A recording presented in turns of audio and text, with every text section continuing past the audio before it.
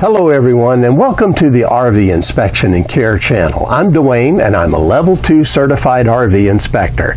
But today we're going to be talking about how to plan out your RV trips using a program called RV Trip Wizard. Now, I use it all the time and I really love it. I've used a lot of other tools in the past, and none of them quite, you know, lived up to my expectations nearly as well as RV Trip Wizard it gives me the best RV friendly routes that I can find. And that's very important for me because I've got a pretty good size rig. And you know, I'm sure a lot of you do too. But besides that, it also gives me tons of useful information about the areas that I'm going through on the way uh, to my next stop. And when I get there, it gives me a lot of information about what's in that area too. Now, currently, I'm on a 23 stop trip and it starts started in Arizona and it's going to end shortly in New Hampshire. I used RV Trip Wizard for every stop along the way, and it really did a great job for me. So I find it easy to use and I find it very usable. But that's me. So let me show you how I use the program, and uh, then you can take a look and see if it's something that'll work well for you too. So let's go ahead and get started in RV Trip Wizard. Okay, so here we are in RV Trip Wizard, and I'm going to show you the features that I use the most often in the program. Now, there's a lot of features in this program, and if you want to go through them all, there's a guidebook that'll tell you about everything you can do. But, you know, as with most things, there's just certain features that you use over and over again, and these are the ones that I'm going to show you today. Now, what you can do is come into the program and create a trip. And I didn't do that. We're not going to start there today. I went ahead and made a test trip, as you can see here. It's called test. It's just a tentative trip. And I put one stop on the trip. And that way it'll save us a little bit of time. Uh, but it's very easy to create a trip. You just name it, you give it the parameters you want for the trip, and boom, you're off to the races. So let's go ahead and let's open this trip. And here it is. Uh, essentially in this trip, I've made a imaginary trip that starts in Virginia Beach, Virginia. And I'm going to try to make it up here to a Thousand Trails campground in Colonial Beach, Virginia. And so I went ahead and entered that stop, and as you can see, the program has selected a route for me. It's the one right here in blue or purple, I don't know what you'd call that color. Uh, but anyway, that's the route that it has selected for me. Now over here on the side, there is a fly in and fly out uh, little tab that will keep track of all the stops that you're making on a trip. So you can see my first stop right here. Of course, there's the starting point in Virginia Beach. Here's the first stop. And when you highlight that area, you've got some options. You can edit what you've done on that stop thus far. You can lock it in place so that nothing changes no matter what. You can get a little more information about the park, or if you, for whatever reason, don't want that stop anymore in the trip, then you can get rid of it altogether. But this is where all of your uh, stops for the trip will be listed over here on this little flyout. Now, the next thing to notice is right up here, these buttons. There's buttons along the top that are really, really useful. Now, let's see if we can go ahead and create a second uh, stop on the trip, and I'll use the buttons to show you how that works. Now, there's a couple ways you can make the next stop. And the first one is if you know that you want to go to a certain area, let's just, for discussion's sake, uh, say that we want to go to Hagerstown. Well, then you can go up here and uh, you can press the uh, show or hide parks area and uh, you can see all the campgrounds that's in that area. And then you just select the campground and up will come, it'll tell you the name of it, it'll tell you the ratings. Wow, this one really isn't rated very well. Uh, let's go up here to this one. Okay, it's a little better. And uh, then there's a little more details tab here. So you hit that And up comes this whole explanation about that uh, campground. So, first of all, it'll give you the overview. Then it'll tell you the features of the campground. I really like this. How many sites there's there, what kind of sites they are, does it have big rig access, blah, blah, blah. Uh, connectivity settings there, you know, whether you'll get good cell service from the various carriers. You can then look at the reviews and see what people have said about that campground. And then maybe some RVers have left some tips about the campground or the area. Uh, that's really valuable to have. And uh, then, of course, uh, the weather forecast is there too. So there's a lot of information in here on each individual campground. Let's suppose you want to go to this Falling Waters campsite. Well, then you go over here where it says add to your trip. You click that you fill in the information. Let's say you want to stay one night there. You could put any comments you want there. Let's say it's going to cost you $40 a night to stay there. And then you can decide where to put it on the trip. Now, if you're making the trip, you know, one stop after the other, then you'll just choose the last stop. But if you want to put it in between stops, then you can do that too. You can choose where the last stop would be before this stop that you're putting in. But now I'm just going to add that to the trip like that. And then here comes your fly in and there it is. It's the next stop on the trip. So that's how easy it is to really uh, make a stop on the trip using the campground uh, layout here on the map just selecting campgrounds and finding the ones that are closest to a certain area and that kind of thing. Going through them, deciding what's going to be best for you.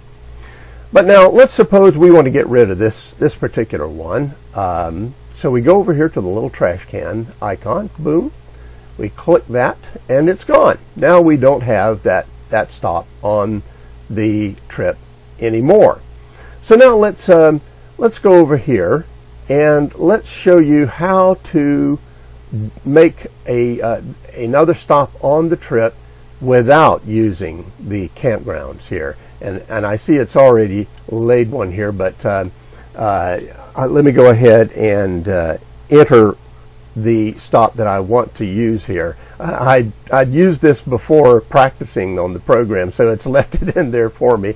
But Here's uh, the stop that I was going for. It's uh, at Gettysburg Farm. Just enter that in this little area, this box up here, and you can see it'll bring up a whole list of uh, campgrounds or spots where it may be it may think you want to go. And there is Gettysburg Farm RV Campground. So I select that, and then it brings me right up close to that uh, campground. Now, uh, uh, once again, click on the icon there. There's the reviews for the, the campground. Go into the more details section, and it'll even give you a map for the campground if one is available. That's really neat. Once again, you can view the features, the reviews, the tips, the weather, all those things. But we're going to go ahead and add this one to the uh, trip. I'm going to stay there. Well, let's make that. I'm going to stay there three days. How about that? And uh, we'll just say $40 again per night. I'm going to put it at the last, after the last stop, and add it to the trip. And let's take a look at, yep, there it is. It's right on our trip now. And notice that TripWizard has already come up with a route to get there. So just back out from that close-up view and we should be able to see the route that it's telling us to take. And there it is. And so that's what uh, TripWizard is suggesting for us. Now, how does it know what route to take? Well, when you set up each trip, you give the program the parameters for your RV, for your rig. And let's take a look at that. It'll, it'll be up here in what is called trip settings. You set that up every time you make a new trip in the program, but you can change those settings too as you go along. So let's take a look at my settings here. And right at the front, you can name the trip and so on. But here's where the magic takes place under RV Info. You tell the program how high your RV is, how long it is, uh, the weight. Uh, if you want to track the cost of fuel, you can even do that. You can tell it what kind of fuel it uses, what size tank, how many uh, miles per gallon it gets, and so on.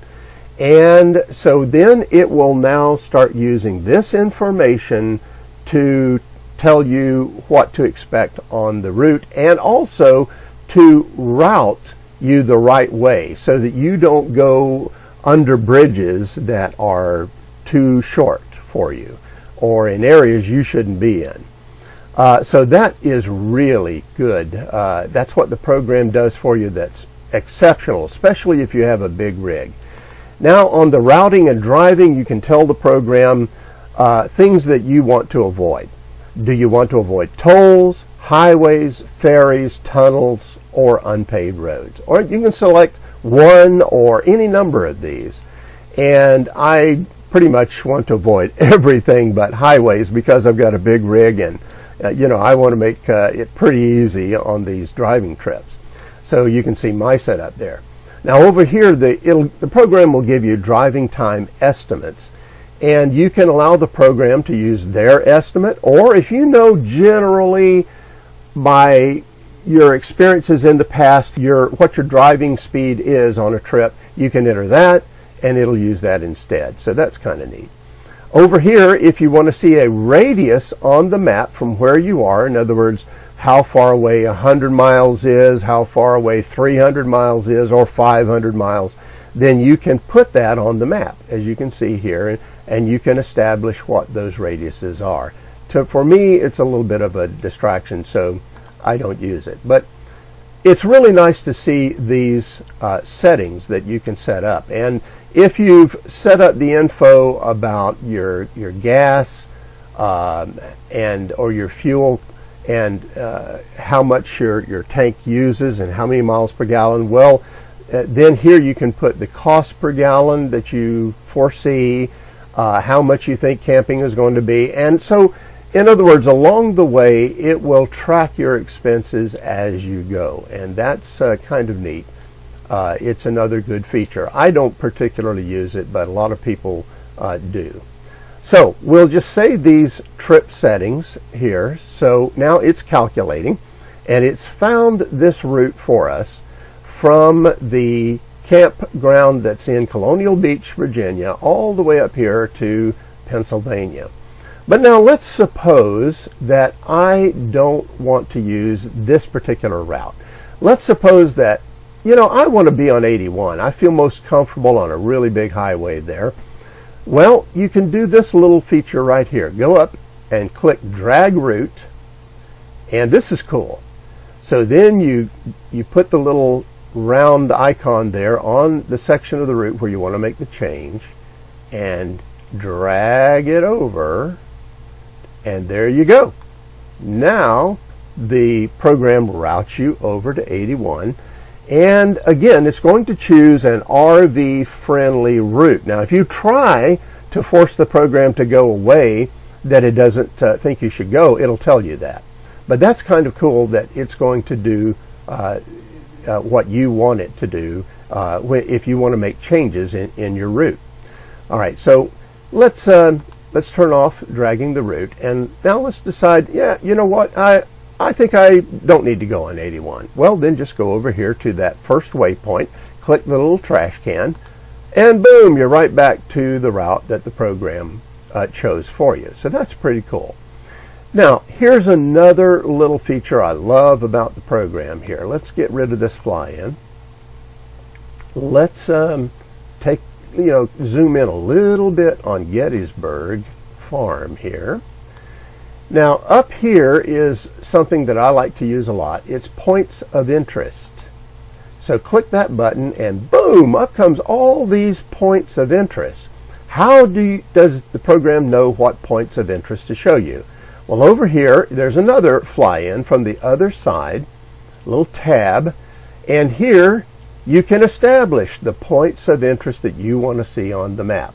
So I have said that I want to see rest areas, I want to see the gas stations along the route, especially uh, diesel uh, gas stations, you know, where truck stops and things like that, because I've got a pretty big rig.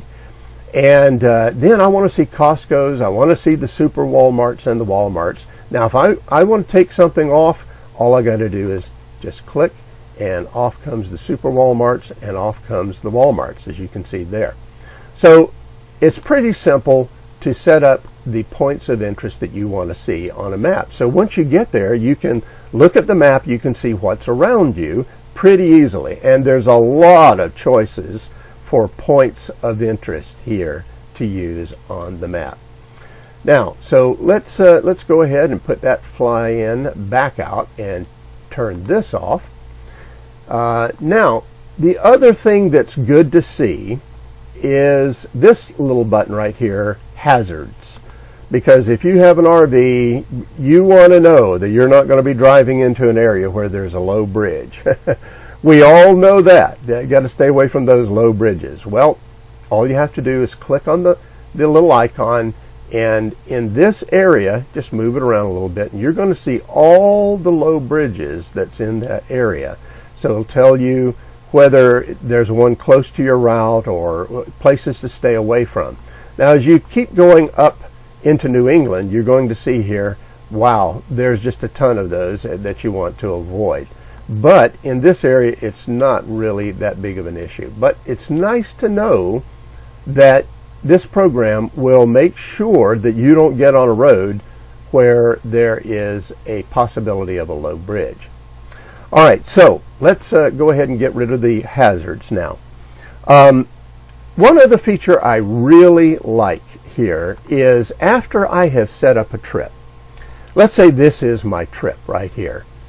Well, you know, when you're driving along on the highway, sometimes you go move in and out of connectivity and the uh, GPS unit that you're using might have a little bit of trouble uh, keeping up that sometimes happens especially in rural areas. So what I like to do is go up here and there's a lot of settings under this little wrench icon. Uh, you can send the trip to a friend. You can tell them what your itinerary is so they know what when to expect you and where you're going to be at. But right here is turn by turn. And so I click that and over here, look, I've got all the turns that uh, the program has mapped out for me on this route laid out for each stop along the way. So I print that out and then I have that with me. So if all else fails, if my uh, devices break or, or they're not working for me or I can't get connectivity as I'm going, well, I've got a printed version of the trip to take with me. And that is really cool. Okay, so I think I've showed you most of the things that I use here in the program. This program is very useful. It's very user friendly. Now I use what I create here in this program on my desktop or laptop uh, computer. Uh, once I've made the, the trip here, I will then transfer that to an app that uh, RV Trip Wizard uh, makes. It's um, called RV Life, an RV Life app, and you can import this trip that you've created here, and it will give you turn-by-turn directions by voice as you go down the highway. So that is really cool too, and I'll make a video on how I use that app uh, later on. But at any rate, this is what I do to use the RV Trip Wizard app or um, program uh, online. Well, that's how I use RV Trip Wizard, and I hope you enjoyed it. You know, the longer your trip, and the bigger your rig is, the more you need something that's going to give you RV friendly directions like RV Trip Wizard. Uh, and especially instead of something like Google Maps. You know, I used that for a little while and it got me into some tough situations. So I came to realize that, you know, tools like Google Maps and Waze and things like that, they're really designed for much smaller uh, vehicles. But if you want RV friendly directions that's not going to get you in trouble, then RV Trip Wizard is the way that you need to go. And this is especially true if you tow a vehicle behind your motorhome or if you're towing an RV. Uh, it, it makes for a pretty good size rig going down the road, and you don't want to get caught in situations that are tough to get out of. Now, so far on this trip, it, it, has given me great directions to every place that I've wanted to go. So I'm very happy with what it's done. It's kept me out of trouble. In my experience, I can happily say is a very good one. Now, if you think that this program could work well for you, then understand that there is a cost involved. It's about $39 for an entire year to use the program as much as you want. You can schedule as many trips, as many stops as you want, $39 a year. To me, uh, that is a real deal. But uh, it's up to you to decide whether it's of value to you. Now, if it is something you want to look into a little bit closer, I'm going to put a link to the program uh, in the description down below uh, in the video description. All you have to do is click on the link. It'll take you right there and you can learn more about it. Well, that's it for now. Have safe and happy travels, my friends. Until next time.